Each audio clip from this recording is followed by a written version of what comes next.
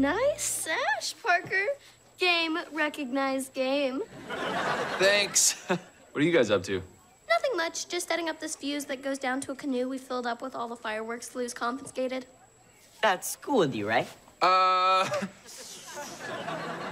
Ava, come see this very dangerous thing that Finn and Destiny are doing. quickly, please, quickly, quickly.